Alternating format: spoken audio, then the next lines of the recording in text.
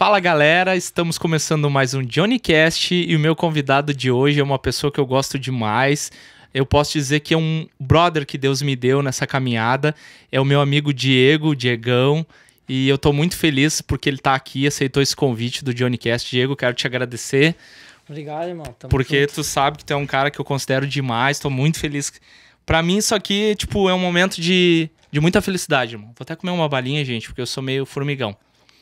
Cara, novamente, obrigado por estar aqui, cara. Eu faz tempo que a gente, na verdade, tá para marcar esse podcast, né?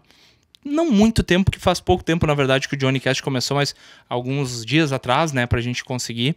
E eu sei que a tua agenda é bem complicada, né?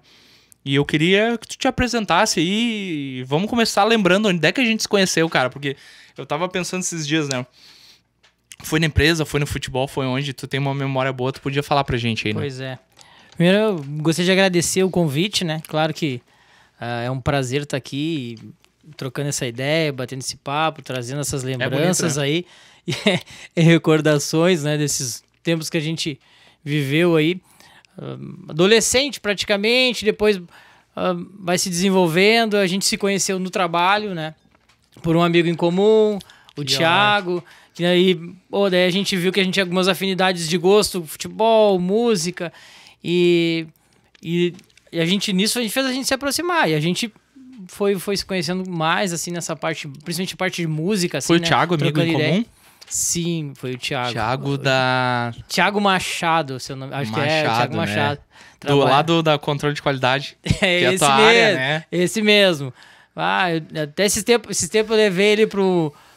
Inventei de botar ele num pedal, ele deu uma sofrida, uma sofrida ele abandonou. Ô, Thiago, Ai. não tô acreditando que tu, tu arregou no pedal, cara. Pois é, ele deu uma sofrida aí, mas ah, depois foi, foi pra corrida e tal, e agora faz tempo que eu não vejo ele. Pois é. Mas cara. ele estuda bastante, acho que já se formou engenheiro também aí, torço por ele, é um cara gente boa. Namora, mas, ah, namora ainda, Thiago? Ah, Ah, é. sacanagem, tô brincando. É, casou, provavelmente casou, eu acho. Cara, faz Ah. muito tempo que eu não vejo ele. Que ele só estuda. O que, que ele faz da vida? Não, Trabalha e não, não, ele trabalha, ele trabalha, ele trabalha acho, no setor de engenharia de uma empresa aí. Cara, muito legal. Mas é bacana. E a gente se conheceu, foi trocando essa ideia, daí a questão de música, a gente foi conversando. Aí eu to, fazia um sonzinho, tocava um violão, uma guitarra e tal. Aí tu sempre foi metido, né? A tocar, Só, tocava... meti- só metido, vocês viram, né? Ele falou a verdade. Tu falou a verdade. Metido. Tem gente que diz que eu toco, cara. Eu sou muito ah, metido. não, toca. Ah, mas ah, naquele tempo a gente, eu era, eu era, sempre fui metido, né? Sempre fui metido a, a querer fazer os Ah, negócios. tu a tocava até numa banda, não tocava? Ah, tocava. Mas a pergunta se eu me lembro alguma coisa, hoje não lembro.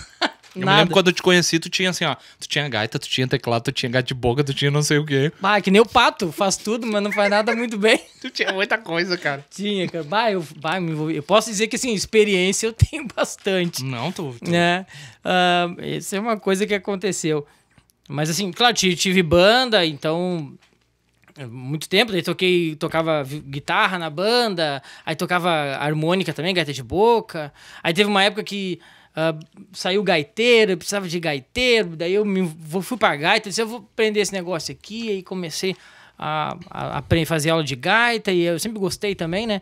E aí comecei a tocar gaita na banda, daquele jeito, e foi indo, a- até a banda terminar, eu terminei como gaiteiro. Cara, é mesmo. Mas eu comecei, eu comecei Eu me como lembro de uma foto tu com um óculos de guitarra. Ah, não, é que a banda era. Eu comecei com uma banda de O rock. estilo era esse cara aqui. Eu comecei com a bandinha de rock. Era uma banda de rock. Ah, eu e uns camaradas se juntamos. Era, foi, era lá em casa, a gente chegava pra ensaiar. Aí eu assim, eu desmontava o meu quarto, era um quarto Transformer. Eu chegava lá, a- o pessoal chegava pra ensaiar, baterista, baixista, o outro tinha outro guitarrista e vocal. Eu pegava, levantava meu colchão, levantava minha cama pra parede, ajeitava os outros móveis pro canto, montava, a gente montava a bateria ali e fazia o Jesus. estúdio. Fazia um estúdiozinho, tocava, ensaiava ali. Que os vizinhos ficavam loucos, né? Banda de rock, qual era o nome, tu lembra? Era Caxói. Cachorro. Eu ia te falar isso, mas eu não lembro que era banda de rock. Eu achava que era banda de. Tocava de tudo, tipo é, 4. era um, era um, não, era um pop rock, assim, tal, tocava uns rock, pop rock.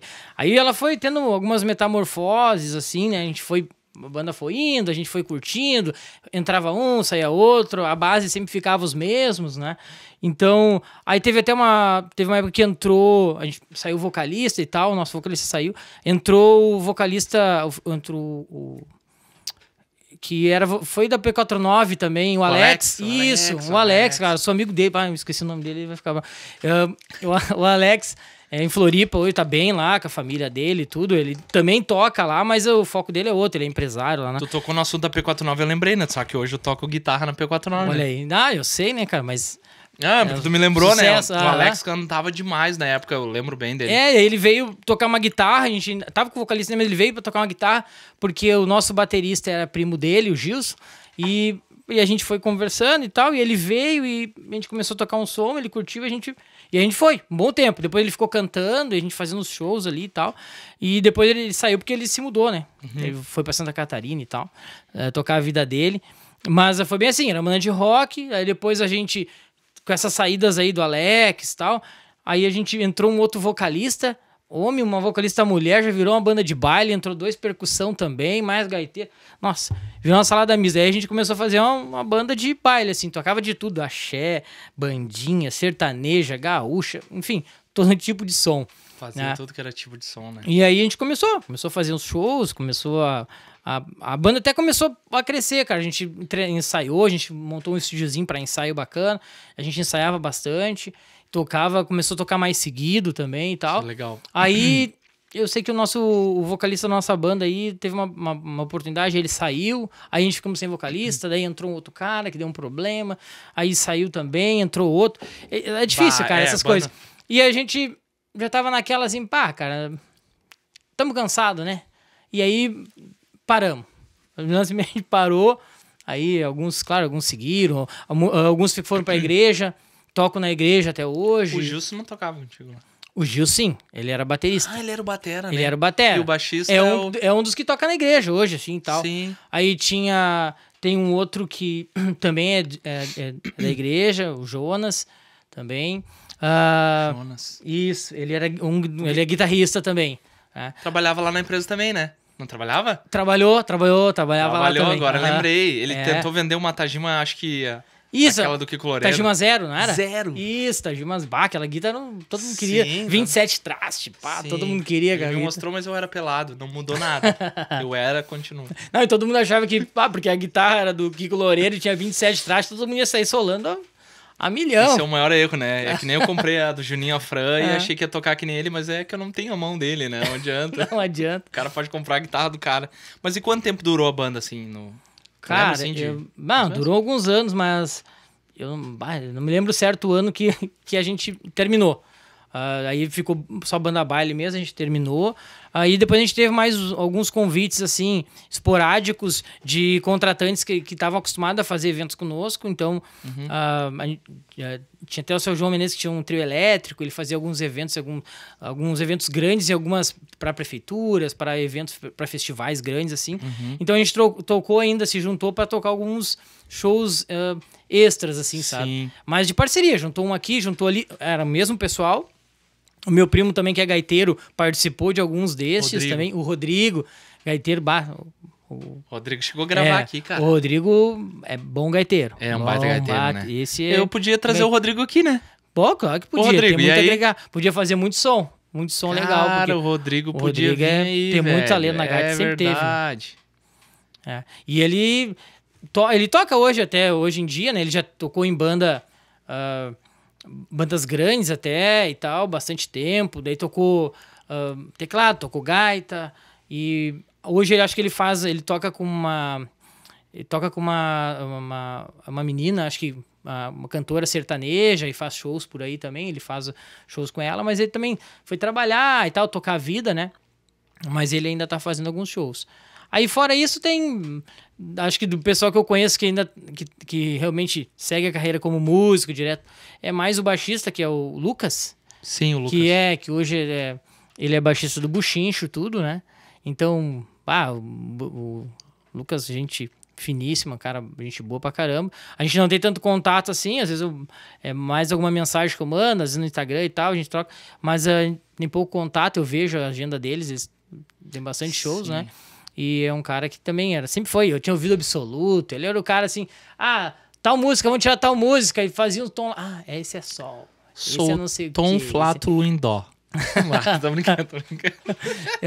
É, era uma cara bom, mas e foi assim. Sim, então, cara. A gente teve essa banda e tal, acho que por isso a gente conversava sobre música e a gente acabou se aproximando mais. É, né? porque eu tento lembrar. Quando eu te falei que eu tentava lembrar, né? E a gente tava conversando antes do podcast, eu disse, cara, mas onde é que foi? Eu sei que foi lá na empresa e tal.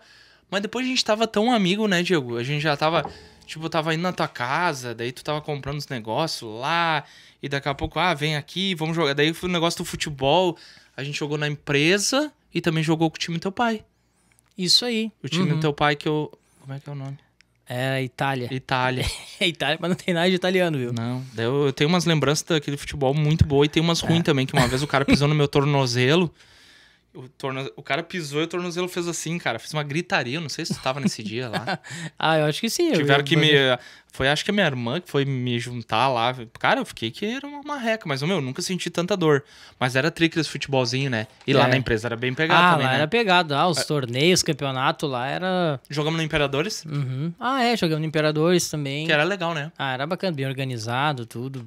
O Dani no gol, tinha. Ah, que passou um monte de gente, mas que Uhum. eu lembro do goleiro, o Dani. Aí tinha eu, tu, que eram os fiéis ali. Quem mais? Tu lembra?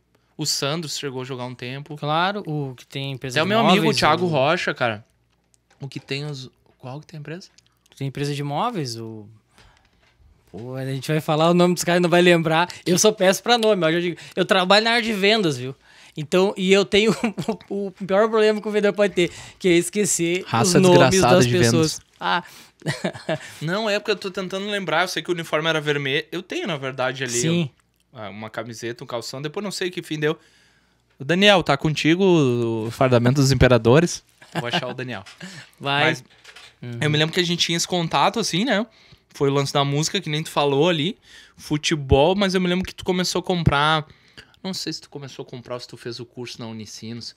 De É, produção eu- musical. O que que acontece? Eu, eu sempre tive, gostei ali, às vezes eu tinha ideia de gravar alguma coisa e tal, eh, experimentar um som, testar, né? Gravar Uhum. alguma coisa e depois gravar algum solo em cima. Porque eu era metido que eu queria fazer guitarra solo. Não sabia nem fazer base direito, mas queria fazer guitarra solo. Mas, ah, então eu comecei a dar uma pesquisada Uhum. e achei esse curso, né, na Unicinos, que era, era um módulo, era um curso de extensão Uhum. para o curso que tem de produção musical, que tinha um curso de produção musical, produtores de rock, produção musical na Unicinos. e aí dentro dele tinha uma cadeira e tinha um curso de extensão, que daí tinha... eh, eh, era um produtor lá... Produtor fonográfico, não é? É, é um produtor fonográfico, até o cara foi, é, pelo menos no currículo dele, era, foi produtor de Pato Fu, de várias bandas. Sim, então sim. me interessei e fui lá fazer. Daí tinha um, o curso falava de, de softwares de para gravação, Cubase, Pro Tools, né? Alguns softwares mais conhecidos, ah, alguns ah, modos de utilizar ah, compressores, o que tinha também de, de samplers, de como utilizar alguns efeitos, recursos e tal, né? Então, como eu tava querendo aprender, pá, fui lá e fiz esse curso. Aí ganhei diplominha, tudo. Ah, Sim. curso de. de um, do, vem um, diploma e tal. Achei que, bah, agora eu vou gravar tudo. Agora eu vou, bah, vou, vou abrir, derreter. o, eu abri o programa, daí, bah, consegui, aí baixei o programa e tal. Eu tinha, tava com o programa ali, comprei dois monitorzinhos de áudio, né? Bem bonzinho, até Tonet procurei. Wander. Tonet Vander, bah, os monitorzinhos. Nossa, top os monitorzinhos, né? E comprei uma Fast Track Pro. Nossa, aquilo foi um sonho, né? Na época não era nada barato, mas comprei uma placa de áudio profissional. E hoje não tá Pro. muito barato também. É. E aí, pá, comprei aquela plaquinha e disse, pá, agora sim, tem monitores de áudio. Tem a placa de áudio bacana. Né? Tem o software, computador, pronto. Tô com o Deu. meu estúdio. Tô com o meu estúdio Deu, em casa. tô Com a Ber- a Ah, aqui. ganhei na vida. Só agora sim. Estúdio agora- aqui Agora eu dentro. vou gravar. E aí, e aí eu colocava cabo, e daí dava microfonia, e o som. E aí eu não tinha um microfone bom.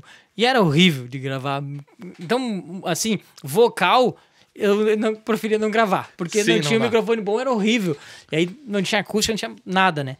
Então, aí gravava guitarra, gravava o tecladinho, né? Eu- aí eu comprei um controlador, controlador MIDI da Behringer, aquele, o MX61, uma O coisa assim. MX61, esse prato. É, prata, esse aí. Que tu acabou me vendendo Te depois. vendendo depois, cara. Viu, cara? O cara Ah. é vendedor nato. O cara me meteu o Behringer aqui, cara. Ah, mas naquela, época- naquela época o Behringerzinho é era. bom, é bem bom. Nossa, fiz tanto. Fiz milagre aquele Behringerzinho assim. Era Tecla foi bem bom. durinha, mas ele funciona bem. Funciona bem. Então. Ah, Aí foi, montei, bem dizer, pra mim, eu tava com um estúdio montado lá no, no meu quarto. E né, tava cara? mesmo, né? E tava. E aí eu te convidei pra dizer, ô Johnny, olha só, vem ver aqui e tal, vamos gravar algumas coisas, vamos, vamos brincar aqui, né? Vamos inventar algum negócio, vamos, vamos ver o que a gente consegue fazer aqui. Até porque o Johnny tocava, sempre tocou, tocava bem, né? E toca até hoje, né? Mas a. Mentindo aí, galera. Mas uh, e eu sempre fui muito curioso, eu tinha criatividade, tudo, mas nunca muito virtuoso, confesso, né? E aí eu convidei o Johnny, bah, vamos fazer um som e tal. Eu, fico, eu toco aqui o teclado, toca a guitarra, vamos fazer, vamos juntar.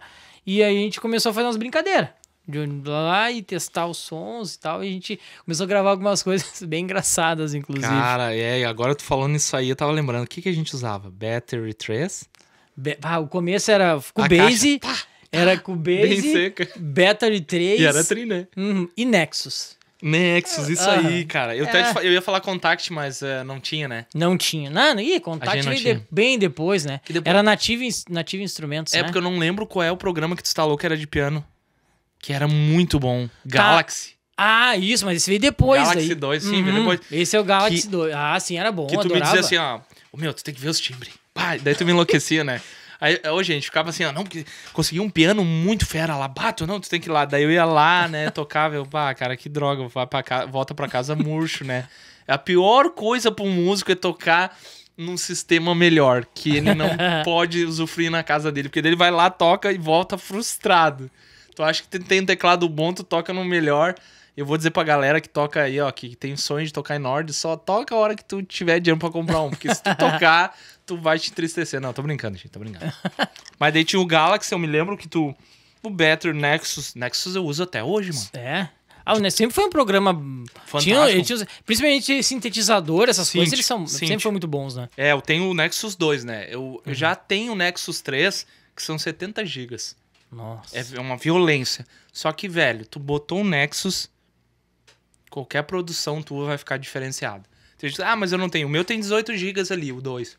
Já é um bem grande. Na Sim. verdade, tem programas que tem um espaço grande e consome pouca memória. Ai, tem, né? O, o Keyscape da Spectrasonics, ele tem 72 GB, mas ele não é tão pesado, ele não consome tanta memória. E tem programas que tem o Alicia Keys, aquele da, Bah. da Yamaha, tu, acho que tu já teve, né? Sim, bah, o som é bom, mas. Maravilhoso, só que ele pesa, ele puxa, né? Se tu tem ali um i3, um i5, ele já dá uma reinada, né? Mas eu me lembro, daí tu, tu ficava me com os programas, né? E coisa, e mostrando. Pois é, daí às vezes eu, olhava, ach- descobria uns programas, né? Tipo, ah, olha só, vi uns programas e tal, assim. Vi um, às vezes eu vi a questão dos plugins e tal, e eu disse, pá, cara, é caro, mas vamos comprar, vamos dividir. Vamos. Daí tu, pô, tu instala lá e eu instalo aqui e a gente. É tudo uma paulada. E a gente. E a gente, pô, pelo menos os dois têm, os dois conseguem usar Ah, e tal. Vi 10 CDs aqui, portanto, podemos Aham, rachar. é, bem assim. Acho que o. O Complete. Uma versão. Isso, o Complete, eu comprei e tinha uma, uma bateria que era BF. BDF. BFD2. BFD2. Não, o Nossa, BFD2 é vi maravilhoso. um bolo de CD assim, eu eu disse, nossa, cara, que troço incrível agora. E Não, era BF bom, cara, o o- som, só que era grande o O negócio. BFD2 parece que tu tá numa sala de estúdio mesmo. Tem tudo, cara. Não, não tem como tu dizer, cara, é perfeito, o room, os over. Só que é pesado, né? Eu cheguei a instalar aqui depois, mas eu arreguei. O Ivo, eu tinha o Ivori também, que era pesado Ivori de piano. Aham. Isso, muito Isso. bem lembrado. Ah, o Ivori. Tinha um som dele, eu disse, pá, olha só que som aveludado e coisa linda. E aí eu tocava no Behringer, que era. era um teclado. Era um teclado que daí hoje tu vai tocar nele, parece que tá tocando num, num coisa de brinquedo, né? Que as, as teclas assim, ó, toc, toc, toc, toc, uma tecla de plástico leve, e aí tu, tu toca até sobe, né? É. Então, não tem sensibilidade alguma, né? Tem É. que ali, ó, tá, tá, Quando tá. tu comprou o teclado com Hammer Action ali, né?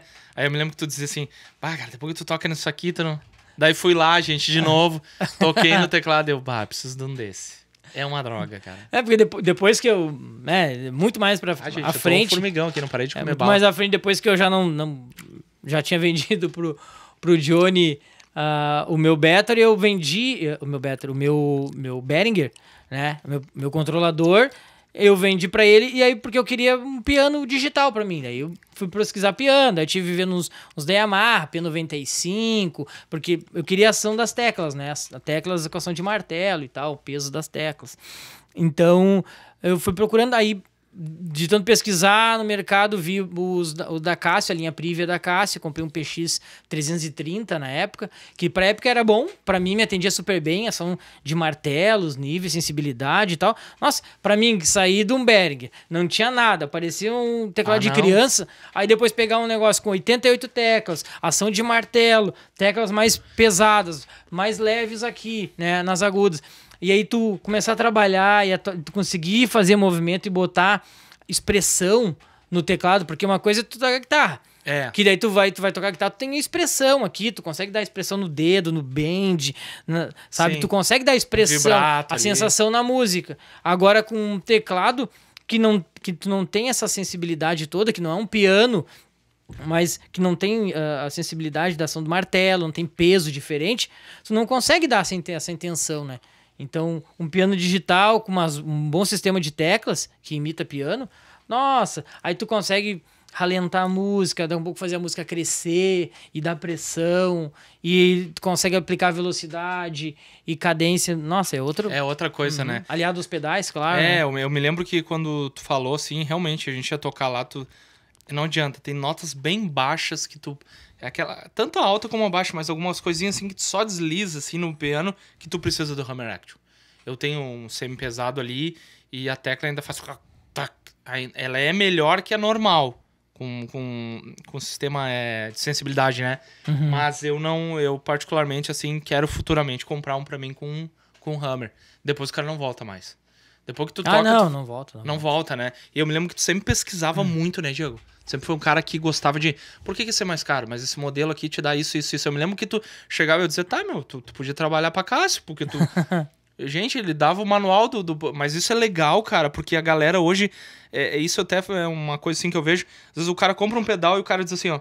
Cara, não gostei do pedal. Mas o cara não leu o manual, velho. Sabe? É, o, o Steve Vai falou uma coisa muito interessante uma vez. Eu tinha essa mania também quando eu comecei na guitarra de pegar um negócio e dizer assim: Ah, cara, essa Zoom não é boa. Aí eu vi um cara tocar com a Zoom e eu olhava, mas da onde que o cara tirou esse som? Se eu não tirei. Aí a gente veio naquele lance, né? Como, como conta ler o manual, a mão da pessoa é diferente. Tu vê que o cara viu o negócio e. Não, só um pouquinho, pra que que faz esse botão? Tá, e se apertar isso aqui? Então quando eu, quando eu lembro disso, hoje eu lembro de ti que tu sempre dizia: Johnny, eu vou comprar isso aqui, porque eu vou investir um pouquinho mais, mas vou ter isso. Eu digo, mas é bem mais caro.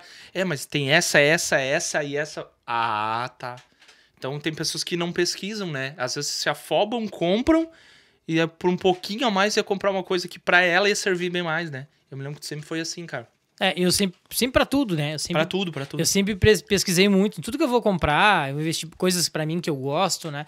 Então eu sempre vou, pesquiso bastante, vejo o que tem no mercado, vejo o que tem de mais caro e melhor.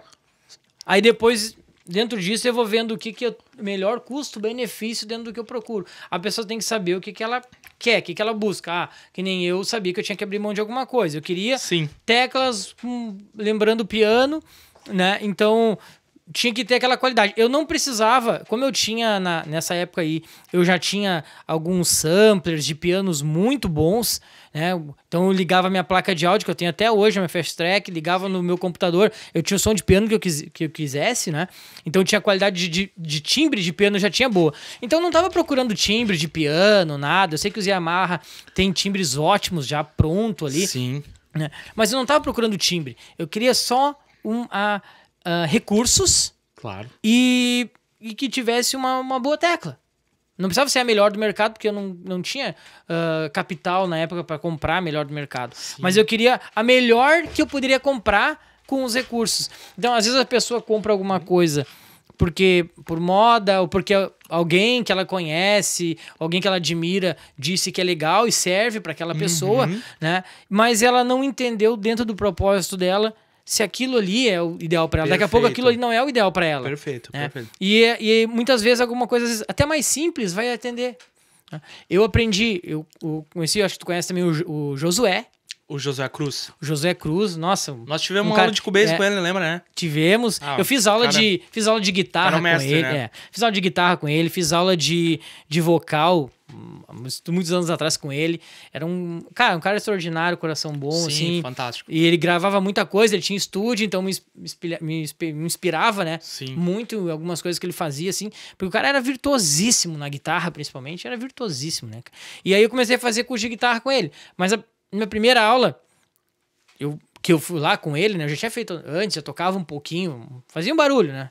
Eu levei minha guitarra e minha guitarra era, tava horrível. Minha guitarra tava horrível e tal. Não, precisava de um luthier urgente, assim, ó, um trabalho lá. Tava feia. E eu até tava pretendendo comprar. Mas já cheguei pra ele e ele disse: Ah, me dá aqui. Fui lá em Canoas, lá onde ele morava, né, no estúdio dele. E ele, tá, me dá aqui, deixa eu ver tua guitarra. E ele pegou minha guitarra na mão, assim, e eu já cheguei dando desculpa pra ele. Não, olha só, eu voltou pra comprar outra, porque, ah, tá muito ruim, né? Tu vê que... E ele começou... Começou e solo e de coisa. E eu, nossa, cara, nem sabia que essa guitarra fazia isso aí, cara. E aí eu fiquei olhando ele tocar e eu, eu me senti horrível, né, cara? Eu Cara, disse, que droga isso. eu disse, pô, o cara tem um. tá com um instrumento que eu não consigo tirar nada de som dele, sabe? Tá super limitado. A e mão- olha o que o cara tá A tocando, mão cara. que balança o berço conta, né? Tá, podia me dar uma Gibson naquela época que eu não, não ia tirar nem perto do que ele tá tirando com o meu pau velho. É, cara. É então, aí. aí eu entendi assim. E ele mesmo me entregou, ele disse: Não, ela precisa. É, realmente ela precisa ter uns ajustes ali e tal, mas dá pra te, pra te ir fazendo tua aula. E aí eu vi que realmente é, é a mão, é o cara, é quem, né? Tá ali. Então tem que estudar, por isso que o cara tem que sempre aprender. Né? Verdade. Ah, nesse, voltando lá na época que a gente começou, cara, não tinha, não tinha recurso, não tinha YouTube, que nem, ah, vou, quero aprender como é que eu edito tal música, como é que eu masterizo, qual programa vou fazer tal edição, não sei o quê, qual, cara, tinha algumas coisas, mas não era tão focado que nem hoje, né? Que nem hoje tem tudo pronto, tu pega muita coisa, muita Tem. dica, tu pega contatos, feedback. Cara, era muito. Cara, tanto que a gente comprava CD, né? Vinha os CDs, tu achava um cara vendendo lá não sei aonde, aí o cara vinha, tipo, vendia, comprava o kit de CDs. Não foi ou- tu comprou um curso de Cubase por CD? Comprei também. Inteiro, né? Inteiro por CD. Meu aí tinha que Deus. botar os vídeos, tinha que botar no, no computador o CD, e aí tu via os vídeos, tinha várias Meu videoaulas, Deus. e tu ia, ele era super monótono, mas tu ia, pra te, né, aprender a mexer e tal, né? Então, era bem carente de recursos, né? Sim. Hoje em dia, é, é muito mais fácil tu aprender desde que tu queira, né? Então, é, essas coisas é... é- o cara tem que ir buscando e buscando e aprimorando. E a gente fez bastante. gente- acho que a gente fez até milagre com o que a gente tinha na época, vendo hoje, né? Se a gente for escutar as É músicas, verdade. elas são, são ruins, são bem ruins, a gente confessa. Mas assim, não dá pra gente considerar alguma coisa de tantos anos atrás com recursos que a gente tinha, né? Comparado com o recurso de hoje. Se eu começasse hoje com a mesma instrução, conhecimento que eu tinha naquela época, com os recursos que eu, que eu tenho hoje, nossa, Cara, como com eu. que- certeza ia ser coisas melhores. Cara, como eu queria poder botar pra galera agora. Eu acho que eu vou. Não sei se vai ser agora, gente, ou no final aí a gente vai. Como é que é o nome da música que a gente chegou a gravar? Jonathan tá aí? Jonathan tá aí, olha só. o no- Não, mas é- esse, na verdade, não é o nome da música. Gente, Virou o nome da música por causa do ritmo dela, né? Ela tem uma levada. Ela, a proposta da música é- era fazer uma mistura. Ah, vamos testar tudo que a gente pode testar aqui. Então nós vamos, vamos misturar rock, reggae, aí vai ter uma parada com um solo de baixo no meio. É sabe? verdade, Aham, é Com verdade. solo de baixo, volta reggae, frases dobradas de, de, de batera Que tá com drive. com drive. Então, meu, tem tudo. O Sopro. auá, a gente botou metais, a gente botou o auá. O sopro que fazia, né? Tá, tá, tá, tá nossa. tá. A gente tentou assim, ó, fazer uma, vamos tudo que a gente poderia fazer, tudo que a gente juntamos tudo numa música. Ficou muito engraçado assim, ela tem muita variação e aí tem essa o solo da música que fica repetindo Jonathan tá aí, né? Cara, Parece um Jonathan tá aí. meu Então virou Deus o nome da música, céu. né? Bem engraçado. Vamos ter que hoje. achar esse arquivo pra soltar, e nem que seja no final aqui do podcast, soltar esse, quem quiser ouvir essas, essas pérolas, né? Música da Sassá. Tinha uma é. música minha que eu queria fazer instrumental, mas eu vou te falar sobre essa música, cara. Essa música ela não morreu ainda, eu quero gravar ela, regravar. Porque tinha um solo todo que eu tinha feito, e eu me lembro quando eu tocava um trechinho dela lá na igreja que eu era, Cruzada Pentecostal, a galera curtia, a gente... daí como tu tinha os recursos, eu até eu tava conversando contigo esses dias, eu tenho vontade de regravar, mas valendo assim, né? Claro, hoje a gente já tá com uma, uma experiência um pouco maior ainda aprendendo, né? Mas eu acho que seria legal, né? Era uma música que tinha violão, né, tinha uma... Ah, era uma música bonita. Tinha algumas músicas É, ali. melódica, tu, né? tinha uma melodia legal. Eu acho que essa música da Sassá, tu, tu me entregou ela, porque nessa época tu já tinha comprado teu monitor, algumas Isso. coisas. Tu já tava gravando na comprei a tua mesma casa. placa que tu. Isso, a mesma A coisa. Track, tu comprou né? as mesmas coisas que eu, Eu inclusive era, o meu controlador. eu era cheira-cheira dele. Ele falava pra mim comprar, eu comprava, né, cara? Tu tem que ter Ah. um mentor. Aí eu botava pilha, na verdade eu botava pilha. Eu disse, ah, não vou embarcar Ó, sozinho nessa, vou botar Vou um... fazer, um, ade- um- vou fazer um adendinho aqui, ó. Esse cara foi o cara que me incentivou, gente, pra quem não sabe, a começar no estúdio. Entendeu? Ele que dizia, eu tenho fotos com ele, bah, cara. Se, ó, galera, vou, vou abrir aqui também, ó. Precisamos de patrocinadores pra esse estúdio. Precisamos botar uma telinha aqui, ó. Imagina, a gente podia passar as fotos aqui, ia ser massa, Bah. né? Que é bem legal. Aham. Mas, cara, eu, eu lembro que eu, se eu pegar meu HD ali, eu devo ter umas 20 fotos tua, tu sentado, tu trazer até teu filho ali na minha sala e a gente ali mexendo nos negócios. Muito legal, cara. Muito É, massa. porque daí tu também foi na tua sala também, como eu, eu era no meu quarto. Isso. Aí tu montou na tua sala as mesmas coisas. Comprou os monitor, Sala o da- computador. Sala da Sabrina foi pro saco. Foi. E então a gente fazia umas gravaçõezinhas ali também. Mas tu também, aí tu gravou algumas coisas, essa música da, da Sassá aí, tu gravou, eh, fez um. Uma. Só uma, uma chamada mesmo, gravou violão Isso. ali e tal. E aí tu me mostrou, ah, olha aí, dá um. sei eu acho que eu te mandei? Tu me mandou. E aí eu disse, ah, vou fazer um piano aqui pra ela. E aí eu fiz um Isso. piano, cara. E aí botei um piano ali. E te mandei o piano. A gente ficava nesse intercâmbio de coisa. Um bota um negócio. Que daí eu já outro. tinha alguma coisa, né? Ah, e a gente fazia esse intercâmbio aí, ó. Te mando com o piano, aí tu me devolve com não sei o que. Agora te mando com não sei o que, tu me devolve. E a gente fazia tudo ali. E tirando o, o, o teclado, né? O piano, guitarra e violão, o resto a gente fazia. E voz, claro, que praticamente a gente não botava voz nessa época. Ah, Não tinha. era tudo tudo na mão, né, cara? Baixo era Tudo na midi, mão, né? tudo midzão. Bateria, ó. Aí tinha que pegar os melhores samples, né? É. Pra enganar. Ah, sim. E o trabalho depois em cima, pra ficar- tentar deixar mais real. Cara, e aí eu tava lembrando que eu tinha um notebook com, com 3 GB, 2 GB. Aí uma vez desligou e eu disse, ô mãe, o que tá acontecendo aqui? Daí eu acho que é um, um amigo meu ali. E eu já eu tava falando contigo, mas daí eu já tava falando com ele também. Ele, bah, mano, quantos GB tem? Daí falei contigo também, bah, tem dois. Bah, mano, tu não vai, não era nem pra ligar esse computador. não- Porque daí tu começa a botar plugin, começa a pesar, né? Galera, uma dica pra quem quer começar em estúdio hoje, invista num bom computador. É o coração do estúdio, você não vai conseguir botar nada. É, é rapidinho pra estourar memória, pra você começar a se frustrar porque não... Ah, botou o Guitar Rig, botou o Galaxy, botou não sei o que, abriu o contact, o computador já se trepida, Nossa. começa a dar estalo digital. Então, se hoje eu fosse começar novamente, eu investiria numa máquina. Às vezes, é que o que acontece? A gente sabe que é difícil pra todo mundo, né? Tu, tu mesmo falou, bah, era cara Fast Track. Poxa, cara, eu acho que que eram, eram 600 reais que hoje seriam uns 2 mil, assim, mais, né? Então, porque eu fui olhar as plaquinhas hoje, cara, tá uma fortuna uma plaquinha de um canal. O cara que vai começar hoje, o que que ele tem que começar? Ele tem que ter, como eu falei, um computador bom, pelo menos um canal, uma plaquinha, um microfone, eu digo pra começar a brincar, né? Porque que nem tu falou, a gente tentar gravar voz numa sala que não é tratada. Ah, bota cobertor. Tá, pode botar de tudo, mas não é a mesma coisa, né? Então, eu acho que realmente hoje os recursos também estão melhor, né, Diego? Nem Ah, você tava muito falando, né? A gente não tinha. Pô, a gente comprava programa, comprava bolo. Pá, cara, comprei. Hoje tu bota ali como editar, como não sei o que a batera, que nem tu falou, como não sei o que, tu bota tudo tá ali, né? Agora, antes não.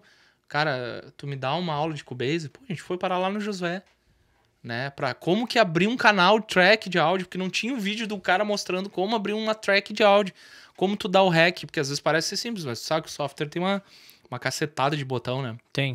Nossa, tem um E eu me lembro que várias vezes eu, me- eu dizia assim, gente, o que que eu fiz aqui? Diego, me salva. Diego, kkkk, dava risada. Chegava lá, tá, meu, aqui, ó.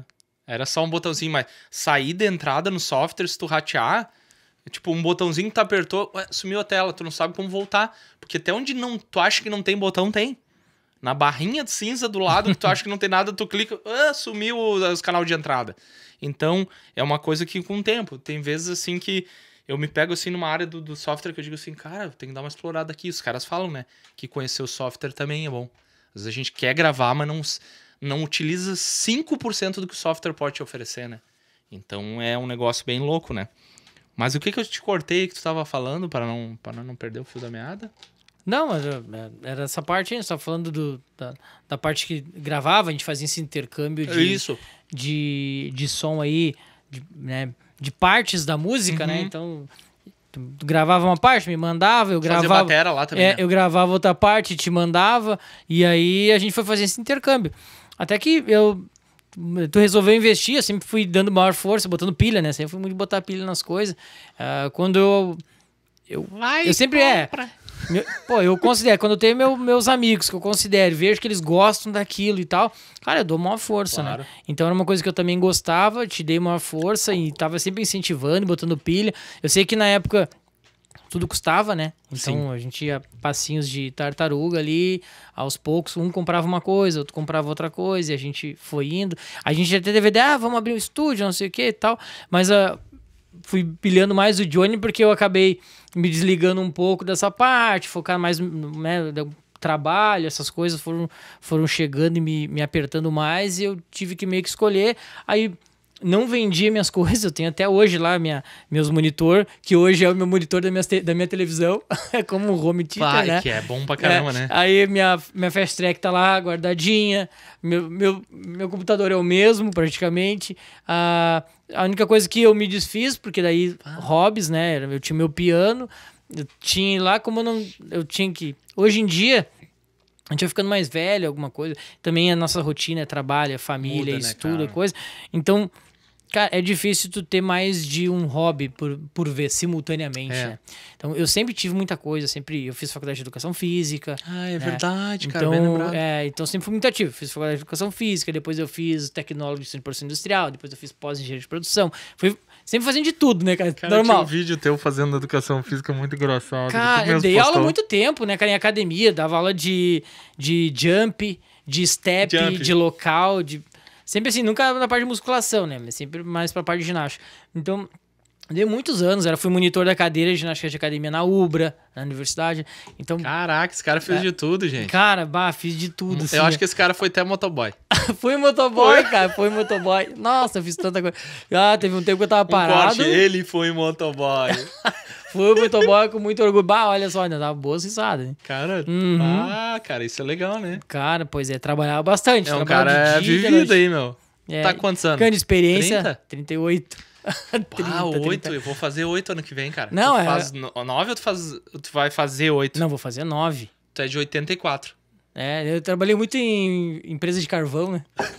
Tô judiado. Não, É, o cara é bonito, judiado. o cara é bonito. Tô eu vou até- judiado aí. Tem que fazer um corte só das partes dele ali pra ver se eu consigo dar uma levantada aqui no estúdio. Ah, tá bom, né? Então, cara, dentro dessas, dessas questões do estúdio, até te perguntar, eu não sei se tu tá me ouvindo bem, porque eu não tô conseguindo, uh, de repente, me escutar por causa do retorno. Ah, não sei se eu tenho.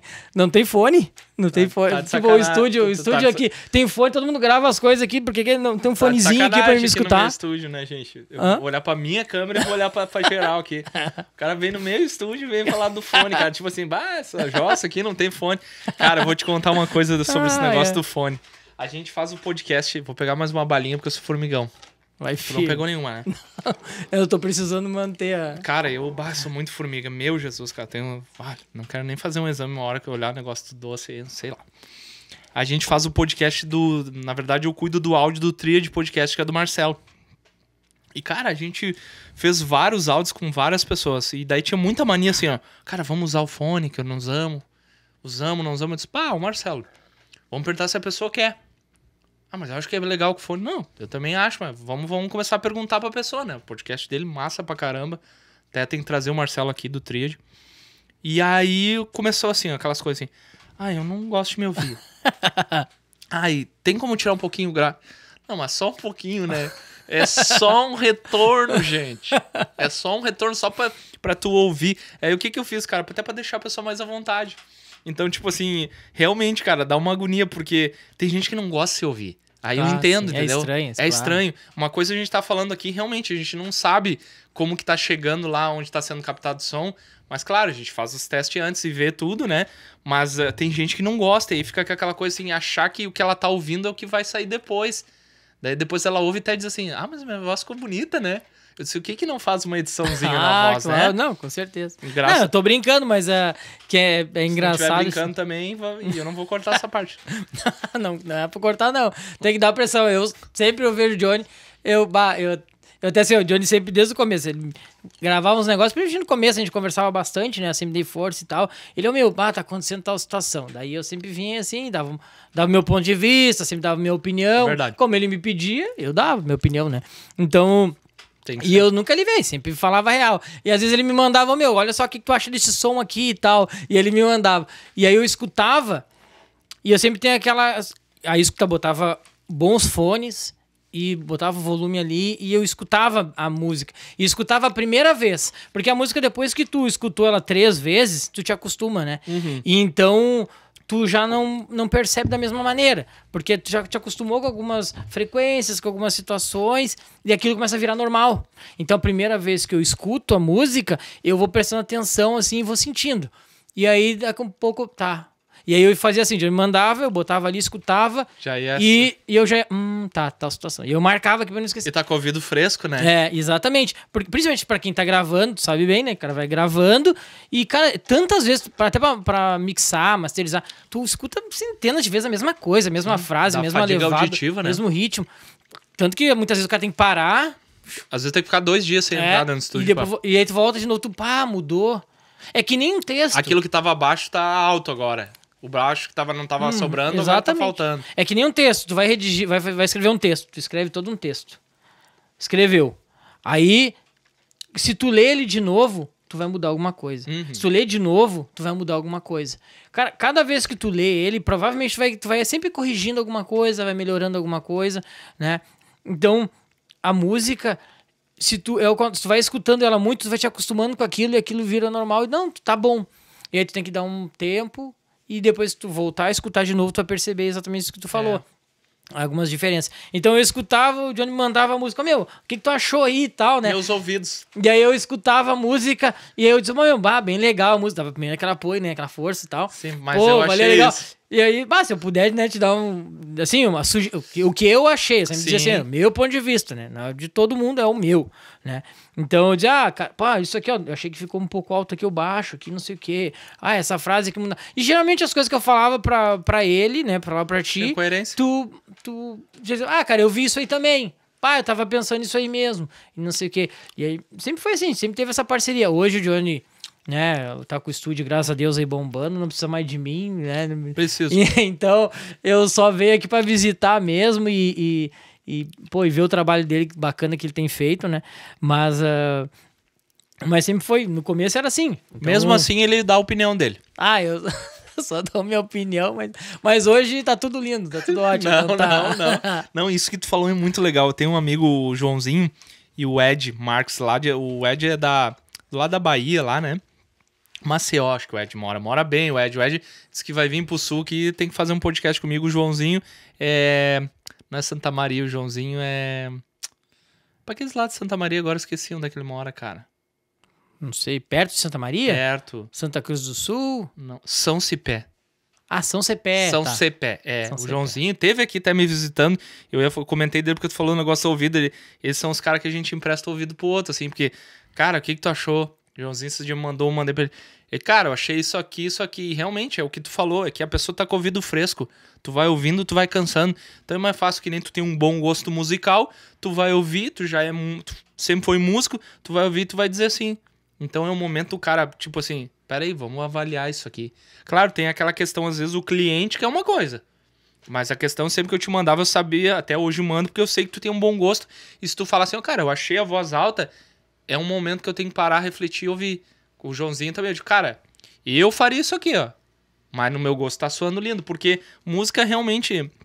Um vai achar que a voz tem que estar mais alta, hoje tu vai ter que achar mais alta, mas daí teu cliente quer a voz mais baixa. E o cara não tá ali contigo. Né? Daqui a pouco o cara quer as guitarras lá em cima. Claro, tem o lance do estilo musical, né? Mas hoje a gente faz muito isso, de porque cansa o ouvido mesmo, cara. Eu, às vezes, quando eu chego, e às vezes eu chego assim, eu digo, cara, ô João, ô Ed, dá uma escutada na música aí, cara, porque eu não consigo mais ouvir a música, eu tô cansado. Aí tu, às vezes o cara fala, tu vai ver, o cara diz, "Ô, meu, tira lá 2K que eu acho que tá sobrando na caixa. Tu vai ver, não tá sobrando os 2K. Mas como tu falou, né? O ouvido tá tão acostumado, fica ouvindo que acha que é normal. Tem um negócio que o Sassandro me ensinou, que é um professor lá do IGAP, que é muito legal a galera fazer, fechar a porta fazer um mono natural. Fecha a porta do estúdio e sai pra rua. No meu caso aqui, como eu consigo ouvir, porque essa parte lá não é totalmente isolada, né? Eu ouço exatamente o que, que tá sobrando na mix, cara. É super interessante isso. Ou tipo, na sala técnica pra sala de gravação, fecho, aumento o volumão. Cara, o grave tá bombando. É um troço louco, é um mono natural que tu ouve, cara. É muito legal. Muito legal esse negócio assim de o cara fazer isso, mas. De novo eu te cortei, o que, que tu tava falando? Não, Pô, não. gente, só corta o cara. não, corta não, eu que puxei esse assunto. Porque eu lembrei Na também verdade. da do que tu me indicava, né? Uns não, cara. eu fiz, claro. Aí eu Nesse já, meio tempo já tava foi- com estúdio e tal, né? Isso. Então eu, eu sempre, quando dava, eu indicava. Eu, conhecia o método de trabalho, eu sabia que tava começando também. Uhum. Então, eu me lembro que o Gilson, que foi o baterista da minha banda e tal, ele tava, tocando na igreja, ele queria gravar. Ele queria gravar umas músicas dele e tal, que ele tinha, ele sempre escreveu umas Tem um músicas. monte uma- música boa, ele tinha umas músicas, né? E aí eu botei- falei pra ele, ó, cara, olha só, tem o Johnny e tal, um amigo meu, ele tem um estúdio, tá começando agora, mas, pô, Quanto que eu é um cobro, trabalho Diego? assim. É, o Johnny, na época, não sabia nem como cobrar, o, o que cobrar. eh, Servia Como é muita experiência também. É, porque tu não, tu não. Ainda tu não entende, né? Do, do, do trabalho em si. Tipo, não tem a experiência, o tempo que tu vai levar, como é Não, que sabe funciona, né? Mas tudo vira uma escola. Então daí o, o Gilson veio, né, e tal, gravou algumas coisas contigo aqui também. Ah, teve- eu, eu indicava. Eu me lembro que uma vez teve uma, eu, eu- uma, uma história engraçada. Eu, eu indicava mesmo, né? Então, botando sempre querendo ajudar meus amigos aqui, ó. Sabe? Vamos, vai lá pro estúdio Ele é Johnny. brother, ele é brother. Vai lá pro estúdio do Johnny. Ô, Diego, E- tu me indicou aqui, cara, cara, um negócio na minha sala aqui, agora que eu, que eu tô aqui na, Agora que eu abri uma pecinha que eu não sei nem apertar o REC direito, me manda os caras. Pois é. né? E aí uma vez eu encontrei lá em São José do Norte, na atravessando a balsa, eu encontrei uma uma, uma menina que ela foi, foi ela foi semifinalista do The Voice Uh, da Globo. E tá e é- eu vi ela, né? vi ela cantando, ela cantava super bem e tal. E aí, pá, vi ela, tava inclusive com a maletinha do The Voice, com o microfone e tal, ali, naquele dia. Aí eu vi a maletinha, vi ela, liguei, pô, sei quem é, porque eu, eu via direto os programas, né? E aí tá. Aí eu comecei a conversar com ela, a gente acabou vindo na balsa esse né, uma hora de lá, conversando, falando de música, do The Voice, perguntando bastidores, tudo curioso, né? Ó, coisa de música eu tava ali, curioso, perguntando como é que funcionava, pá, pá, pá, ela me falando algumas coisas, e aí eu, eu falando, olha, ela, ela, ela tinha um, acho que o namorado dela, é, era em Porto Alegre, o cara era médico, tal, morava em Porto Alegre, ela vinha eventualmente pra Porto Alegre, e às vezes ela, ela ia pro estúdio ensaiar, e eu disse, olha só, teve um meu que tem estúdio, tem o, ah, tem o meu Johnny, ele tem um estúdio ali e tal. Quando tu vier pra lá, tu quiser lá, ele tá começando, mas o estúdio dele é bem bacana, não sei o que, vai lá pra ensaiar. Eu tava te indicando até pra, pra, a guria cantora do The Voice Sim. lá. E im- importante era trazer gente, né? cara, e foi benção, cara, porque tu trouxe o. Eu lembro bem do Gilson. O Gilson tava gravando aí, cara. Ele trazia o filho dele. Tinha umas coisas ali que ainda eu não sabia no programa. Ele dizia, ah, cara, é um pouquinho mais pra cá a caixa, claro, eu não conseguia. Eu não sabia fazer as divisões lá no grid. E eu dividia em colcheia, semicolcheia, às vezes tinha que dividir em fusa pra ter ter mais, mais cortes ali na grade onde ele queria, tipo, num espacinho. Só que daí eu, eu tirava do, do snap, que era o imã, pra ficar tentando arrastar ele mais mais um pouquinho. Cara, quando eu descobri aquele botão no Cubase, eu dava risada. Esse maldito que eu tava apanhando com o troço que é. Por isso que eu volto no assunto. Se o cara conhece o software, velho. O software te ajuda. Aí eu me lembro, ah, o Diego me largou justo aqui, agora o que, que eu vou fazer? Mas é como tu falou, é experiência, cara. O cara tem que começar. É que nem o podcast que a gente tá começando e tudo aos pouquinhos vai melhorando. E é legal ver depois a evolução, né? Que nem tu falou, hoje a gente tá aqui com. O pessoal já sabe, né? O Atos Produtora Music, ou Produtora Atos, né? E estamos tentando, cara. Né? Um era um sonho, né? Na verdade, começou com um cara que tu incentivou, depois tu sabe muito bem que teve pessoas que foram usadas por Deus, como a pastora André, para dizer que eu ia ser um produtor musical, que não sei o quê. Claro que a gente olha assim, eu ainda não. Eu tenho aquela coisa de. Ah, será que eu sou um produtor mesmo? Mas, cara, querendo ou não, tem bastante música aí já da produtora, né? Então a gente acha que tá no caminho, é como qualquer pessoa se a gente tiver os pés no chão, humildade, né? E, e que nem. Ter pessoas que nem tu, assim, que são amigos que nos apoiam, né? Nos incentivam, que nem tu falou, pô, isso eu não lembro, cara. Tu dizer, ô meu, vai, compra. Não é que tu queria que eu me atolasse em conta. é porque tu via que, tipo assim, pô, cara, tô vendo que o cara gosta, que é aquilo ali que o cara quer. Então eu acho tri, assim como tem amigos, né, entre aspas, que eram amigos, mas quando tu começou a fazer alguma coisinha, se afastaram, tipo, pá, cara, às vezes tem uma inveja voluntária, acontece. Então, cara, eu sou grato de, a Deus pela tua vida, assim, e para todo mundo eu falo, quando eu escrever um livro, teu nome vai estar tá lá. Diego Medeiros, o cara que me incentivou. Tem muitas pessoas que eu quero trazer aqui que eu sei que fazem parte desse estúdio, Pastor Éder, muita gente. É, próprio meu pai e minha mãe, eu quero fazer um podcast com eles, nem pelo menos pra gente conversar alguma coisa, porque, cara, eu acho que é legal, isso aqui vai ficar registrado. De repente, no próximo que a gente fizer, a gente vai olhar, pô, cara, que legal. Mas eu tava lembrando de uma história, você tava falando de história engraçada. Ah, deve ter muitas aqui no estúdio, imagino que esse cara. tempo todo aqui, né, agora, tanta gente que já veio aqui, a coisa mais engraçada que acontece é aqui dentro, né? Durante as gravações tem, deve ter coisas hilárias aqui, tem, imagino. Te, teve uma que o cara pagou uma, uma mulher para gravar aqui, não posso dizer o nome, né, gente? Porque é, é, falta de ética aí, né? Vou dizer que o cara pagou, ele disse, cara, consegui uma pessoa fazer o back. Beleza. Eu tenho minha esposa, Sabrina, que faz, cara. Ela, ela faz um back simples, mas ela garante. Até porque eu não vou querer queimar meu filme, né? Ele não vou trazer, guri. Tá, cantava na. Tipo nessas bandas show 4, cantava na noite. Uhum. Eu tá, pá, deve. Canta, vive cantando, né? Vai chegar ali, vai dar duas, vai aquecer e já vai sair derretendo. Trouxe num sábado de manhã, ela começou a tomar água, fazer aquecimento. Daí tu vai. Cara, essa mulher vai moer. Largamos, largamos a voz pra ela gravar, a voz guia, e ela foi gravar em cima. Cara, eu não sei pra onde que ela. Tá, não sei onde é que ela quis ir. Eu sei que a música tava pra lá e ela tava pra cá. E eu olhei pro cara e eu olhei e eu não sabia o que dizer, mano. Porque eu não tinha intimidade com o cara, o cara tava uhum. gravando. Daí algo me disse assim: seja sincero, cara. Tu vai ter que aprender. tu vai ter que aprender a dizer que não é para ela. Só que, só que eu não sou o Rick Bonadil, né, gente? Que chega assim, isso aí não é pra ti, não tem experiência. Sim, sim, não. Que sabe o que tá fazendo, entendeu? Tu tá começando. É até as pessoas confiar em ti, tu vai ter que fazer muito trabalho e infelizmente funciona assim. Aí eu cheguei e disse pra ele: Cara, acho que tu botou teu dinheiro fora. ah, ele pagou? Pagou, fora a produção, ele pagou pra ela. Porque naquela época ainda ah. não. Essa pessoa quer um back, hoje eu digo, cara, que, que tu vai precisar? É tanto, tá? É, é, vou te fazer um orçamento, a produção é tal, ou já tá incluso, uhum. geralmente, né? Se eu precisar de back e tal. Eu já tenho o pessoal que trabalha comigo, cara. O cara tem que. Não adianta, Sim, né? Sim, não dá pra te largar das mãos de Deus, tudo. Não, é, é o que eu falo assim, eu disse, ó, oh, eu tenho. O cara, eu tenho back. Eu disse, tá, deixa eu ouvir. Ah, porque eu tenho os meus, cara. Né? Então tu não precisa te preocupar, vai garantir, deixa. Ah, mostra o trabalho, tá aqui. Ah, não, beleza. Eu sei que eu olhei pra ele ele. ah, mas o cara me disse que ela cantava. Eu disse, mas como é que tu não pediu uma palhinha, cara? Resumindo, cara, ele gastou com ela e ainda, resumindo, parou na mão da Sabrina.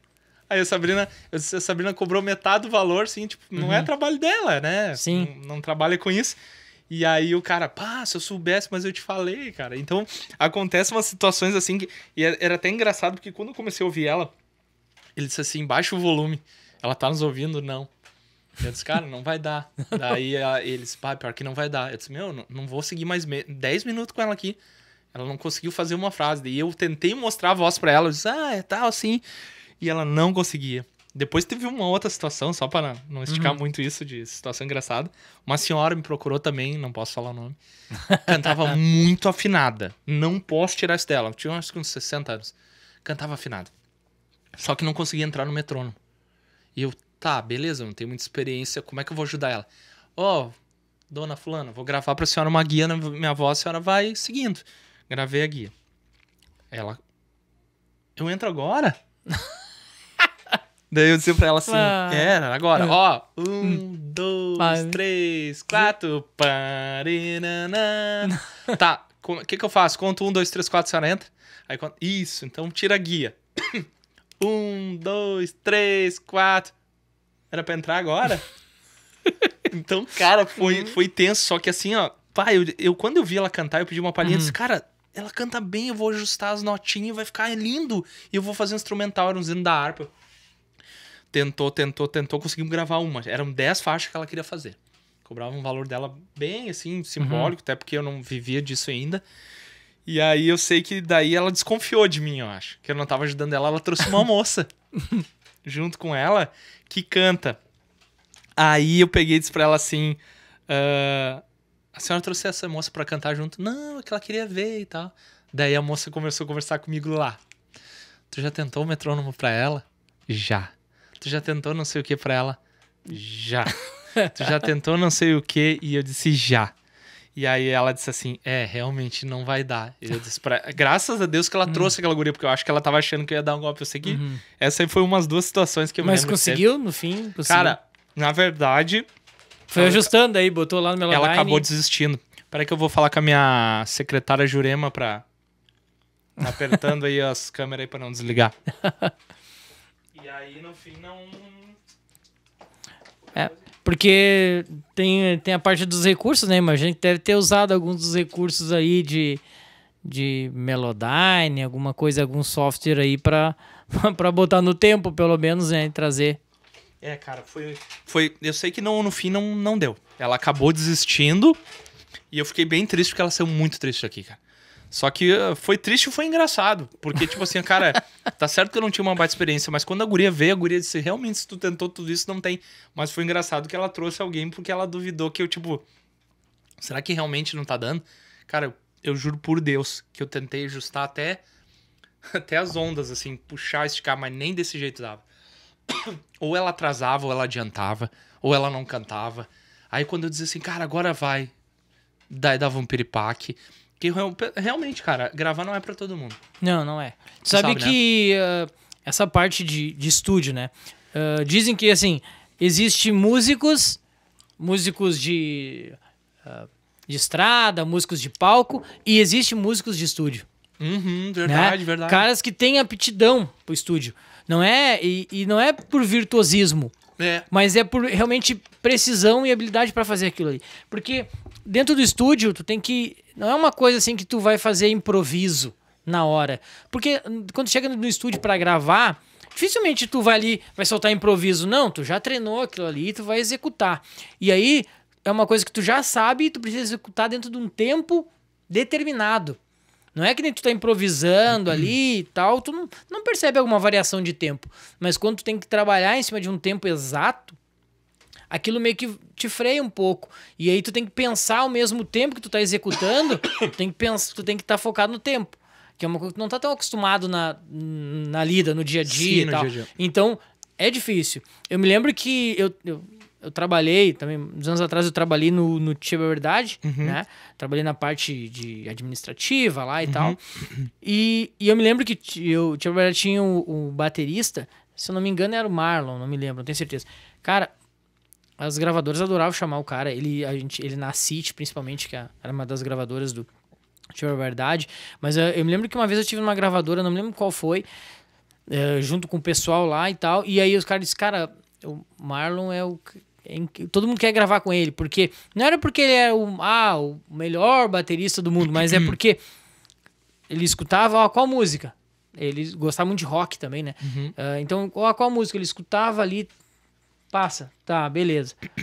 Pode soltar. E pá, pá, pá. Cara, era uma, duas, tava pronto. sim, já O cara sabia. saía no tempo, era um metrônomo humano, assim, ó. O cara não errava. Então, era muito rápido, fluía as gravações. Então, a, a questão do estúdio, principalmente, né? Aquela questão é menos edição, menos trabalho, menos produção em si depois. Tem que estar ali, né? ah, Fazendo corte e tal. Porque, imagina, deve ter pegado também cara que vem, ah, não, vamos fazer tal coisa aqui. O cara grava meia frase e diz, ah, agora copia e cola pro resto aí. É, tem. Não, e então, cara, além de ficar um negócio mecânico, dá- um trabalho enorme, é, É. bem complicado, né? Cara, eu não, eu não sei, eu, minhas guitarras eu gravo do início ao fim. Eu não copio e colo. Eu sempre digo pro pessoal que grava aqui, eu disse, ó, ah, mas é tudo igual. Eu disse, cara, eu gosto de tocar a música inteira. E eu acostumei a tocar no tempo. Então, até pros meus alunos aqui, eu digo, cara, tu quer ser o músico de copia e cola? Lá no show, lá na tua bandinha, lá na igreja que tu vai tocar, ou na rua, ou no bar, tu vai conseguir fazer isso aí? Ah, mas na gravação. Não, tudo bem, cara. Eu entendo a questão de tu. Ah, nós temos um tempo pra fazer um CD e nós precisamos de velocidade, produção. Só que não é o caso aqui. Todo mundo que vem aqui tem tempo. As músicas, por exemplo, produz a Pastora Michelle, a Jerlin, o Nicolas, né, o Jeremias, uma galera aqui, graças a Deus. E é tudo a gente faz na calma, cara. E fica bom. O Nicolas grava as guitarras dele do início ao fim. E eu acho, e eu sinto diferença, exatamente, porque daí, tipo, ah, toca o refrão, beleza, não precisa tocar mais. Toca o estrofe, tá, beleza, não precisa. Copia e cola virou um mecanismo. Virou quase um sample, né? Que ho- hoje tem uns samples que assustam de guitarra, mano. Sim. Eu não uso. Eu sou contra. Eu acho que quanto mais natural, é a mesma coisa gravar batera. Eu gravo em alguns casos com sample. Mas hoje é batera acústica, né? Claro que se a gente fosse entrar nesse assunto de, de gravação, a gente é. Né? Mas é, é como você falou, tem músicos que são bons pro ao vivo e tem músicos que são bons pra gravação. Eu já vi gente muito boa chegar aqui e dar o piripaque do Chaves. Claro. Não, deixa bem claro que, na verdade, ah, quem não, não quer dizer que o cara que não consegue tocar num, com, né, dentro de um metrônomo no estúdio para gravar uma música, que ele não seja um cara bom. Eu conheço, conheço pessoas, ah, músicos excelentíssimos, cara fora da curva, fenômenos mesmo, assim, ó. E que quando chegava dentro do estúdio, cara não conseguia gravar dentro do tempo, do metrônomo. Ele, ele não sei o que acontecia, se ficava nervoso, ou o que que mudava, que- alguma coisa. Mas ele era, um, ele era muito bom músico. Mas chegava dentro do estúdio e ele não conseguia gravar, Tem a pressão sabe? do estúdio. Por causa do, do metrônomo. Se tirasse o metrônomo, ficasse aqui... Tu, tu, tu, cara, ele tocava. Mas assim, botava... Tanto que alguma, eu já vi cara tendo que gravar sem o metrônomo e depois vendo lá se tinha que corrigir alguma coisa. E ele foi melhor sem o metrônomo do que com o metrônomo, porque ele não conseguia. E ele era um bom músico. Então não quer dizer que o cara não consegue tocar no tempo que ele é um músico ruim. Às vezes é, que nem disse, tem um músico muito bom, um músico de estúdio, e tem um músico que. Se tu já tem. Eu já gravei sim o metrônomo uma vez. Uhum. Bateria e baixo certinho. Né? Eu tinha a base, foi embora. Agora tu gravar sem um metrônomo, com- né? Sem nenhum. Sem algo te guiando, porque ele é um guia, né? sim, sim. né? Mas como eu te falei, tá, tá gravado. Eu, eu- às vezes eu, esses dias mesmo me peguei ali, eu disse, ué, cadê o clique? Mas tava em cima, claro, porque a bateria, porque o fundamento veio certo. A bateria e o baixo estavam junto, o teclado já tava sincado. Aí, claro que tu vai tocar em cima, mas eu ainda prefiro usar o metrônomo mesmo assim. Fica muito mais. E eu vou te dizer, depois que tu vai pegando a manha, eu estudo com meus alunos aqui, às vezes eu digo, cara, eu sei que é chato. Acostuma, né? Eu- Depois eu, tu é, acostuma. tu, tu tá batendo o metrônomo na cabeça sem ouvir ele. Tu vai tocar em qualquer lugar, tu tá no tá, tá, tá, tá. E tu oscila menos. Porque a tua mão vai ficando mixada. e é né? natural o cara, o cara acelerar, ou o cara. Normal. É natural. Natural. É natural. Tu tá ali, daqui a um pouco, não sei, tu acelera. Um violão. Fica uma música inteira tocando assim. Inclusive, se tu for pres- se observar, geralmente o ao vivo é mais rápido que a música gravada sempre, em estúdio. sempre mais rápido. É. Quando os músicos estão lá no ao vivo, a música é sempre um pouquinho mais acelerada que a música que foi gravada no estúdio. Se tu botar no tempo, tu vai ver que parece que eles deram uma corrida no ao vivo, né? É natural, acho que, não sei, o cara vai ali na pressão, uma coisa, e, e tende a acelerar, né? O som. E quando vai no metrônomo, vai, vai naquela cadência, e eu acho que dá uma, o cara dá uma freada, tenta manter, o cara se, se acalma um pouco ali. Então acho que isso dá É uma- que o lance é o estudar com o metrônomo, né? Ninguém quer bater escala ali. Tan, tan, tan, tan, tan. Ah, é verdade. Aumenta 10 BPM. Tan, tan, tan, tan. Ninguém quer, tu quer assim, ó. Tu não quer saber se no segundo tempo tu deu na casa, tu vai fazer em cochê, semi-cochê. Tu quer fazer. Quando eu comecei a estudar com o metrônomo, eu disse, ah, eu achei que eu sabia tocar, cara. Aí tu, tu volta e uma coisa que uma vez eu ouvi de um cara que ele falou assim, é... Retroceder dói, né? Tu voltar dói. Tipo assim, tu já tá correndo. Uhum. Mas o cara vai dizer que tu tá correndo errado, Diego. Ah. Tu precisa voltar e fazer. Na verdade, recomeçar dói, É. né? É porque Dói, tu né? aprender errado é brabo, né? E às vezes eu falo pro aluno meu, cara, não. hum, Eu sei que é chato, mas vamos dar uma treinadinha. E às vezes esses dias, eu- um aluno meu aqui, eu, eu disse pra ele: Tu viu como tu tá tocando no tempo, cara? Tu chegou aqui, tu não fazia duas notas. E não é nem a quantidade de notas que eu tô falando. Tu não tocava meia nota no tempo. Hoje tu toca uma música inteira, eu largo o metrônomo pra ti, tu sabe quando entra, quando para, quando sai. Tu imagina se quando for tocar numa banda, tu vai poder guiar um batera desgovernado. Porque a pior coisa é tu começar. chegou no final da música. tu nem percebeu como tu falou. A música sempre é mais rápida. Pô, mas tu conseguir tentar oscilar o menos possível, né? É legal quem escuta. Tu que é um cara que tem bom gosto musical, tá sempre escutando. Tu escuta uma boa música, tu sabe quando é boa quando é ruim. A minha irmã, por exemplo, a Adriana, ela adora música. Ela não toca nada, ela não é envolvida com música, mas ela, eu mando pra ela assim, tal música lá, ruim. E tá ruim. E é ruim mesmo. Tal música eu produzi, boa. E a música é boa mesmo. Então, assim, ela sabe o que é bom e o que é ruim. Então, tu não precisa conhecer música, você tem que saber, ter um bom gosto musical, né? Então, realmente, tem, Tem gente que tem o tino pro negócio, tem gente que não tem. E tá tudo certo. Cara tem que ter humildade e dizer assim, cara, preciso treinar, que nem eu disse. Cara, preciso estudar mais no metrônomo. E foi onde eu falei. Regredi. Às vezes a gente tem que dar dois passos para trás para dar três para frente. Então hoje eu toco assim, que eu não sou um virtuoso. Eu, eu já fui um guitarrista mais fritador, que nem os guris diziam. Hoje eu já curto mais, tô em busca de um som. Né? Eu tô atrás de uma, de uma coloração como minhas produções aqui. No começo eu, ah, tu tá aprendendo, ainda tô. Mas hoje eu digo assim, o cara disse, ah, vai por ali, cara, que eu tô... O Fábio Boscardini me disse uma coisa, por que que tu... Ele disse assim, eu perguntei pra ele, por que que tu faz assim? Ele, porque eu quero buscar uma cor no meu som. A cor do meu som é minha assinatura, o timbre do guitarrista é a assinatura dele. Então tu não quer buscar a tua cor, faz o teu jeito. Então hoje eu tento fazer tudo assim do meu jeitinho. Claro que ainda longe de, do que eu quero chegar, mas é, é bem por aí, cara. E aquela coisa, né, no músico, né? Tu vê que uh, às vezes tem muito aquela ligação assim, ah, o músico virtuoso é, ah, é o melhor, é aquele cara que uhum. vem vai... Às vezes, cara, para quem é leigo, tá, tá ah, tá incrível tá aquele negócio ali. Mas para quem entende, tá vendo as notas emboladas, tá vendo, sabe, não tá limpo, não tá puro, sabe? Uh, e não é nem isso, porque às vezes a gente tira o virtuosismo com aquele cara o mais rápido, aquele uhum. que faz aquilo que parece ser mais difícil. Isso. Mas muitas vezes, cara, tu fazer um, uma base simples, mas uma base. Meu, tu vê uns cara profissional. Uns, uns cara top demais. Os caras tocando, às vezes, músico de banda sertaneja, que os caras não, não podem estar tá fazendo muita coisa. Hoje em dia eles até né, evoluem, né, fazem mais coisas na, na música. Podem pegar de rock, outras coisas assim. Os caras fazem alguma, alguns detalhes, né? Uhum. Mas na maior parte da música eles têm que levar uma cadência mais.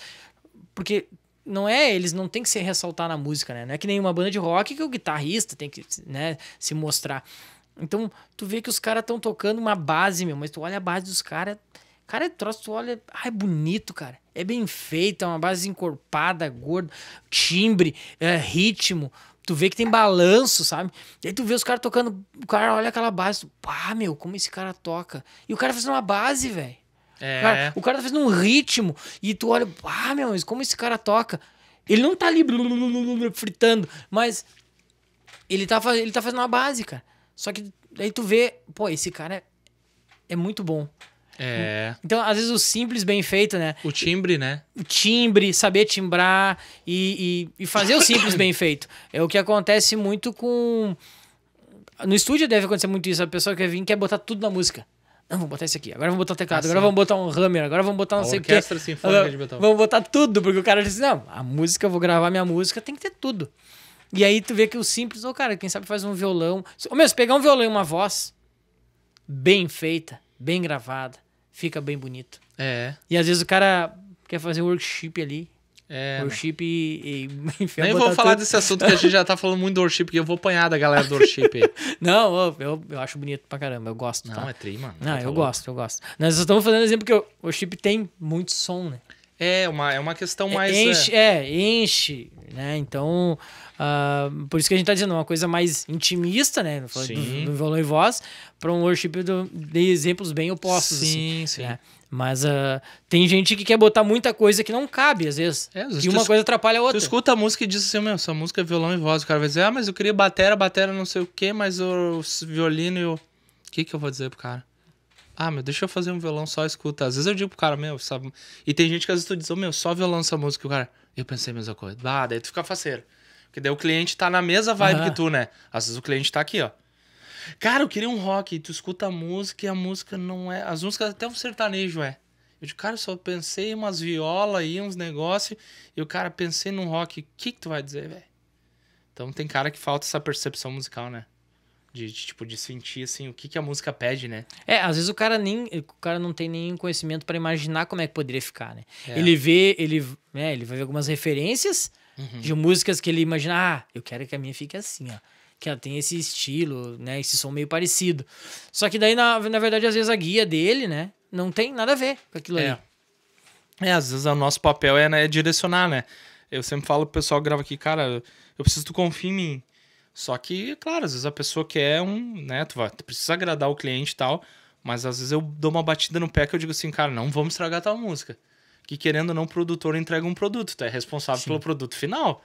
E o, quando faz uma coisa boa, show de bola, todo mundo fez uma coisa boa. Quando fez ruim, onde é que foi gravado?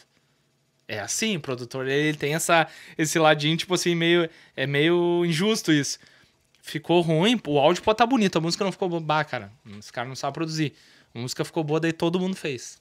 Né? Então tem uma coisa assim que hoje eu tomo cuidado. Querendo ou não, o estúdio vai crescendo, tu tem que cuidar do nome. Porque o cara vai dizer, onde foi gravado? Deixou a voz sair desafinada. Onde foi gravado? Ah, lá no Johnny. Ah, mas Johnny deixa assim.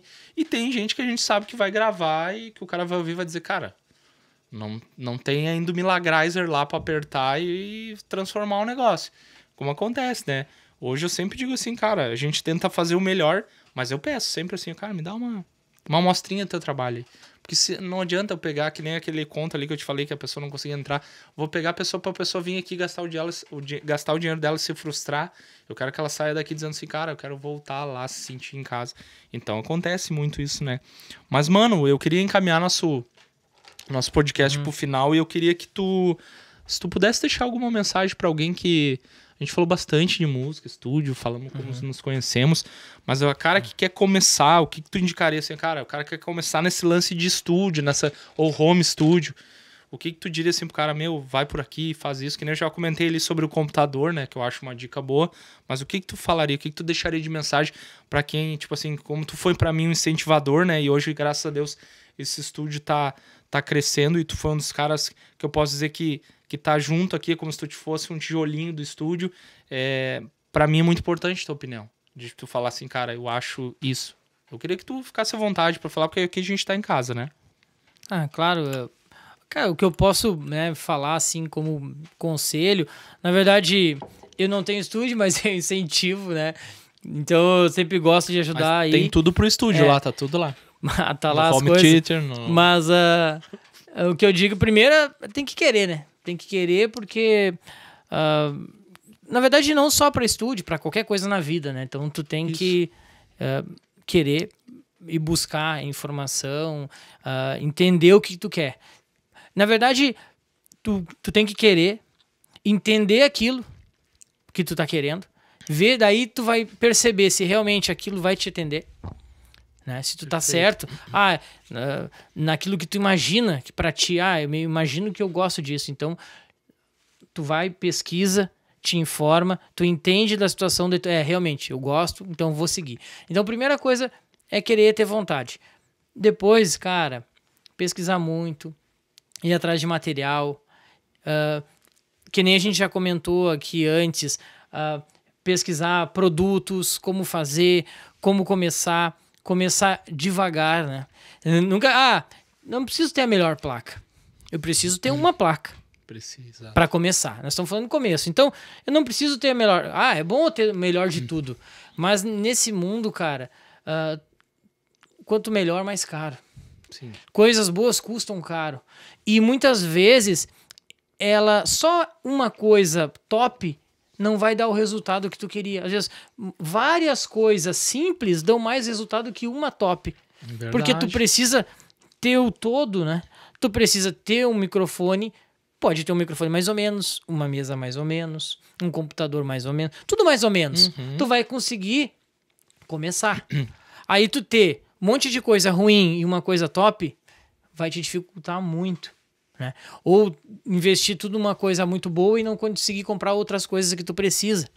Então, tem que dosar, tem que ir, ir devagar, entendendo teu processo e buscando uh, evoluir nisso. Aí aos pouquinhos tu vai, ah tá, olha só, me entendi, tô gostando e tal. Agora eu vou trocar isso, vou melhorar aquilo. Cabo, cara, eu me lembro que no começo eu tinha problema com cabos, então eu tinha placa, tinha não sei o que, aí plugava a guitarra, mas, é, uns barulhos de cabo, eu, nossa, cara, não acredita, aí eu ia ter que comprar cabo, daí eu olhava, ah, os cabos da Santo Ângelo, nossa, cara, ah, eu queria, mas negócio, tava lá, né? ah, não posso, não tem condição. Aí eu tinha que procurar um outro cabo. E assim, microfone caí... tribom com um sinal que não entregava tudo do microfone. Então, às vezes, e aí o cara investe algumas coisas, daí o cara não, não pensa no cabo que é onde que transmite toda a situação. Então, tudo interfere, né? Tudo envolve. Então, o que eu digo é, primeiro, entenda o que tu quer, busque bastante informação. Hoje em dia tem muita informação, tem muita gente falando, muita gente que ajuda, gente profissional de verdade que auxilia, que te dá dica, que te larga muita coisa pronta, mastigada, né? Por experiências que tiveram. E, e depois investindo e também assim investindo com parcimônia, né? Uh, até para te não te decepcionar, porque daqui a pouco tu vai dar um peitaço, investe ali e tu te decepciona com alguma situação, não foi bem aquilo, não funcionou da maneira que tu queria e tu fez um investimento alto e aquilo te, te decepciona é e aí verdade. tu acaba desistindo de uma coisa que tu nem começou direito ou não começou da melhor maneira. Então, começa devagar, vai estudando vai dando certo, tu vai melhorando. O Johnny aqui é um exemplo disso. Então ele começou com o que ele tinha e foi crescendo, e trocou e comprou uma coisa melhor, e depois trocou e comprou uma coisa melhor. Foi galgando, degraus, né? Foi degraus. Então foi subindo um degrau. Às vezes dava uma tropeçadinha, caía um, mas depois subia dois é correndo. Isso. Então foi devagar. Tudo que tem hoje, ou como está hoje, foi aos poucos, né? Uhum. Não foi tudo de uma vez. Então, e a gente a, a aprende a dar mais valor, né? É. A, e, e quando tu tem uma coisa e tu investe numa versão melhorada dela, tu vai, é porque tu já dominou a anterior e aquela anterior ela já não te atende mais. Porque tu já superou ela, então tu precisa de um, uma coisa um pouquinho melhor. E aí tu já é uma, uma pessoa que já entende mais aquele processo. Então, eu acho que vai te ajudar muito mais, assim, principalmente essa questão de, de estúdio, cara. É, tem muito detalhe, né? Tem. E é muita coisinha. Então, às vezes, desligou o computador com tudo funcionando. No outro dia tu liga, ah, o som que tava aqui sumiu, ah, não sei o que não entra, Isso. ah, não sei o que. Cara, e aí tu buga, assim, o que que eu fiz, meu Deus? É, dá vontade de desligar de novo, ó, vou começar de novo, vou ligar de novo, vou ver. Então, às vezes dá vontade de sumir. Dá vontade de sumir. Cara. Mas é isso aí, já falei demais. Te agradeço aí, Johnny. Tá louco, ah, meu. Obrigado mesmo, muito feliz e, e, honrado de estar aqui, né? Então, tamo junto, precisando aí, tá sempre às ordens, vou estar tá sempre te incomodando aí, visitando aqui, torcendo é. pro, pro sucesso, né? Que prospere aí sempre Amém, a, cara. a Atos e que eu sei que vai. vai eu sei que vai porque tu é um cara merecedor Obrigado, e cara. batalhador também. E, e principalmente assim, ó, coração, né, meu? Quando o cara tem vontade, é um tem coração e batalha, não tem como não dar certo, cara. É, cara, o cara tem que entregar nas mãos de Deus as coisas e correr atrás, que ele tá sempre olhando pela gente, né, vai, né, cara? Vai dar certo. Cara, eu que sou feliz que tu aceitou o convite. É, como eu te falei, para mim é uma honra, né? Eu espero a gente daqui a um tempo fazer um outro. Depende quando o estudo tiver maior. Depende quando a gente de repente tiver uma sala só para podcast, porque hoje a gente usa a sala do estúdio para podcast, né? Mas, como tu falou, cara, aos pouquinhos a gente vai indo, né? É legal ver o. É, é, se deliciar com o processo, né? Porque é um processo. E não, como tu falou, a gente acaba dando um pouquinho mais de valor. Depende se começasse já bombando, a gente não ia dar valor para uma mesa, pro, até, o Diego trouxe até os bonequinhos dele aí, gente. Não é meu, viu? Do meu filho. roubou os bonecos do filho. Eu vi que o Johnny me enche de... Eu vi que oh, o Johnny... Como é que é o nome do teu filho, meu que eu esqueci? Eric. O Eric, tu não quer me dar isso aqui? Cara, que boneco ah, legal, velho. Eu vi que o, os podcasts do Johnny é virado em boneco. Parece o podcast de gamer, né? Não é? E aí eu, eu disse, ô oh, meu, tu quer? O meu filho tem um monte, é uma coleção desses bonecos aí de... de Aí ele não traz, então tá, pedi pro meu filho antes aí, olha só, me empresta aqui só adoro, um pouquinho. Adoro bonequinho, quero ver se vou encher aqui de Dragon Ball. Quem quiser me doar um Dragon Ball, Goku. Eu aceito até o traíra do Freeza, um Majin Buu, Vegeta, toda essa galera aí. Mas enfim, mano, obrigado de coração, eu quero te agradecer. Não, eu que agradeço, cara. valeu. E quem sabe numa, numa próxima oportunidade a gente faça um som daí junto isso, também. Isso, cara. A gente eu... aproveita e faz um som aí. Porque de repente o pessoal vai escutar e vai achar, bah, o pessoal não ia fazer um som, porque o primeiro podcast fiz, fizemos um som, o Wesley fez um som, o segundo o Will fez um som de baixo e guitarra. Uma hora a gente nem que pegasse duas guitarras, sei lá, a gente solta uns samples aí, que hoje a tecnologia tá aí. então tá, gente, eu agradeço a todos que que estão assistindo o Johnnycast. Esse foi mais um Johnnycast aqui direto da Atos Produtora Music. Espero que vocês tenham gostado. Acompanhe o nosso canal, compartilhe. Eu vou deixar a, na descrição desse vídeo o Instagram do Diego. Deus abençoe e um forte abraço. Obrigado. Até logo.